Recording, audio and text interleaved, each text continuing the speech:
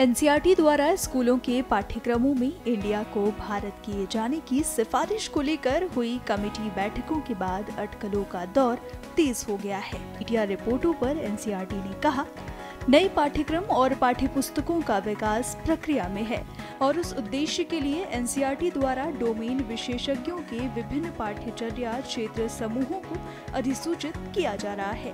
इसलिए संबंधित मुद्दों पर मीडिया में चल रही खबरों पर टिप्पणी करना जल्दबाजी होगी। इसके बाद जहाँ केंद्र सरकार इस सिफारिश का स्वागत कर रही है, वहीं दूसरी तरफ़ विपक्ष इस सिफारिश पर सवाल खड़े कर रहा है। आइए सुनते हैं किसने क्या कहा। देखिए एक राजनीतिक निर्णय है, क्योंकि इस देश के लगभग सभी प्रमुख राजनीतिक दल जो देशभक्त है, एक साथ आकर एक इंडिया गठबंधन बनाया। तब से इंडिया नाम से नफरत करने लगे हैं ये लोग। नहीं तो कल तक इंडिया का नाम से डंका बज रहा था पूरे विश्व में। हाँ? सभी योजनाएँ इंडिया नाम से चल रही थी, तब भारत की याद नहीं आ गई। लेकिन जब से हमने इंडिया गठबंधन बनाया तो उनको इंडिया से घृणा होने लगी।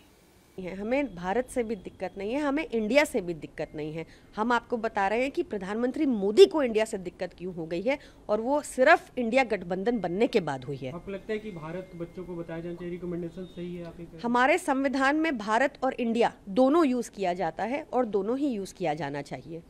मतलब भारत कहीं मतलब भारत जहाँ पे यूज़ किया जाए इंडिया भी रहे आप ये कह रही हैं? दोनों रहे क्योंकि हमारा संविधान इसकी परमिशन देता है। पर मैं आपको यही बता रही हूँ कि क्यों इंडिया शब्द से प्रधानमंत्री मोदी को अचानक इतनी दिक्कत हो रही है? ये उनका डर साफ़ दर्शाता है और कुछ नहीं।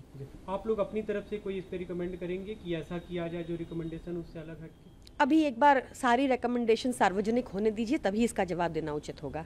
मैं मेरी तो समझ में नहीं आ रहा। इतिहास में के तथ्यों के साथ खिलवाड़ कर रहे हैं। आज मैंने डिटेल पढ़ा चेयरमैन साहब का। वो कह रहे हैं फलाने को फलाने पढ़ाएँगे फलाने को चिलाने पढ़ाएँगे। इसका मतलब है कि काउंटर फैक्चुअल इमेजिनेशन पर हिस्ट्री लिखी जाएगी, तथ्यों के साथ खिलवाड़ होगा, और देश के नाम के साथ भी खिलवाड़ करेंगे। यानी कहीं ना कहीं मंशा है ना कि अल्टीमेट अटैक इस पे होगा। लेकिन आपको एक बात बताऊँ, जिस इंडिया गठबंधन से आप परेशान दिख रहे हैं हिस्टोरिकल रिएक्शन दिखा रहे हैं, अगर उस गठबंधन ने अपना नाम भारत कर लिया, फिर क्या करेंगे? कोई नया नाम? आर्यावर्त जम्बो द्वीप वगैरह वगैरह?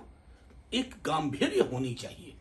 उस गंभीरता का उस ईमानदारी का घोर अभाव है और इसलिए कोई भी चीज़ सुरक्षित नहीं है। देखिए अगर कोई चीज़ अच्छी हो रही है तो उसमें किसी को विरोध करने की आवश्यकता तो नहीं होनी चाहिए।